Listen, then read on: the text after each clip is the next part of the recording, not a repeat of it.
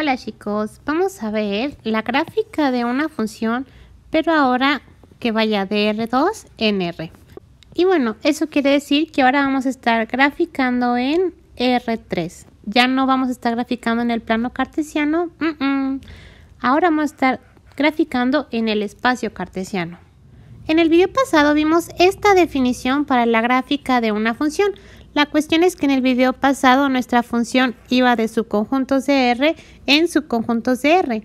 Ahora, pues bueno, nuestros elementos del dominio ya no se ven de esta forma. Ahora los elementos del dominio son de la forma x, y. Y a cada pareja x, y que esté en el dominio le voy a asociar su imagen bajo la función f, es decir, le voy a asignar f de x, y. Entonces, los elementos en la gráfica de nuestra función se van a ver de la forma x, y, coma, ¿quién creen? Pues coma la imagen de mi función, es decir, f de x, y. ¿Y esto dónde vive? Esto es un número real, esto es un número real y bueno, estoy diciendo que yo quiero que mi función caiga en los reales, por lo tanto también es un número real. Así que esto de aquí es un punto o un elemento de el espacio cartesiano, es decir, TR3. Y dicho esto, pues ahora se nos antojaría pues tener una tipo definición para este tipo de funciones. Así que aquí hice una.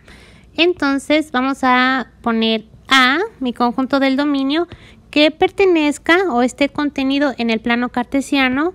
B, un subconjunto de R y f una función que vaya de A en B, es decir, de un subconjunto del plano cartesiano a un subconjunto de los reales. Y vamos a definir la gráfica de nuestra función f como este conjuntito. Los puntos x, y, f de x, y, es decir, este de aquí es mi punto en el dominio y este de aquí es su imagen, ¿ok? Tales que X y Y viven en mi dominio. Entonces va de nuevo, la gráfica, la idea es exactamente lo mismo. Voy a graficar los puntos del dominio junto con su imagen. Y listo. Vamos a hacer ejemplos de esto. Y bueno, como yo dibujo feo, vamos a dejar que GeoGebra se encargue de esto. Y lo que vamos a hacer es escribir la función que queramos. Por ejemplo, yo estoy poniendo f de x, y. Acuérdense, como esto va de un subconjunto de plano, pues mi función tiene dos variables independientes, la x y la y. Y el resultado tiene que ser una cosa que dependa de x y de y. Por lo tanto, bueno, por ejemplo, yo acabo de poner x más y cuadrada y me da esta cosita que está súper linda.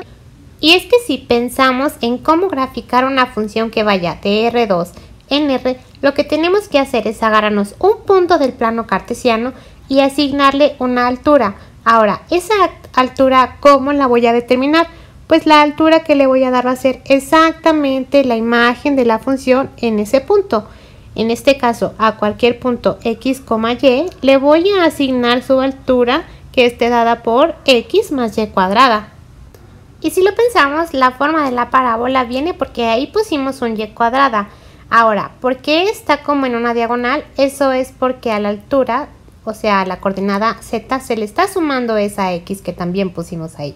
Cuando escribimos la función. quiero agregar otra función, digamos una función g, pues le escribo g y otra vez tengo que poner que mis variables independientes son x, y, bueno, x y y, y otra vez poner algo que dependa de x y y. Ahora se me ocurre algo loco como coseno, y fíjense nomás qué cosa tan hermosa acaba de salir. Aparte bien estos colores, son de lo más lindo. Y bueno, si al ver estas gráficas ustedes deciden que está muy amontonada, pues podemos fácilmente borrar cualquiera de las dos. Nomás le picamos a los tres puntitos y le ponemos borrar.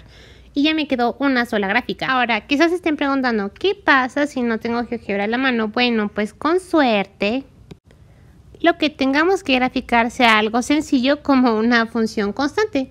Por ejemplo, esto es una función que va de R2 en R dada por x más y es igual a 3. Eso quiere decir que a cualquier punto en el plano le voy a asignar el número 3 en la coordenada z.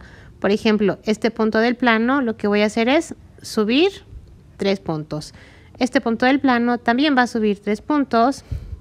Este punto del plano también va a subir 3. Este punto de acá también va a subir 3. ¿Y qué es lo que voy a obtener? Pues en general, para esta función constante, lo que voy a obtener va a ser un plano que pase por z igual a 3 y sea paralelo al plano XY. Y va de nuevo, esto es porque a cada punto del plano XY le estoy asignando su imagen bajo la función, en este caso 3. O sea, cada punto del plano XY lo agarro y lo subo 3 unidades. Antes dije que lo subía 3 puntos, pero no me equivoqué. Lo tengo que subir 3 unidades. Yo sé que en este video no vimos muy bien cómo hacer las gráficas de funciones que van de R2 a R a mano muy bien, porque la verdad es que dibujo de verdad feo, feo, feo, feo, feo. Pero no se desanimen chicos, porque para eso les dije cómo utilizar GeoGebra. Entonces, la invitación esa que utilicen GeoGebra. Este, por ejemplo, piensen en una función y traten de adivinar cómo se va a ver y luego grafíquenla y vean si se ve como, como ustedes pensaron o si no. Si la función sí se ve como ustedes pensaron, pues nos ponemos todos muy felices. Y si no se ve como ustedes pensaron, pues traten de buscar una explicación e intenten de nuevo con otra función, a ver si ahora sí le atinan. Y pues nada, espero les haya gustado este video. ¡Nos vemos!